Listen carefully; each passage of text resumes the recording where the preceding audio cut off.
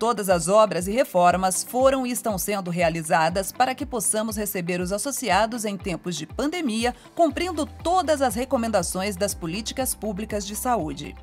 Como gestores, criamos a Diretoria de Governança e Compliance para monitorar que tudo o que está sendo realizado esteja dentro de padrões éticos e de qualidade.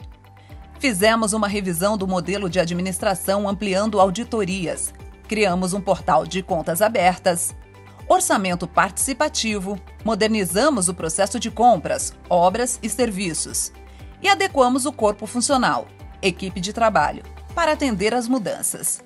Investimos na renovação da estrutura tecnológica, adquirindo novas ferramentas de gestão. Modernizamos equipamentos e sistema de BI, Business Intelligence. Esporte Clube Pinheiros, o maior clube poliesportivo da América Latina.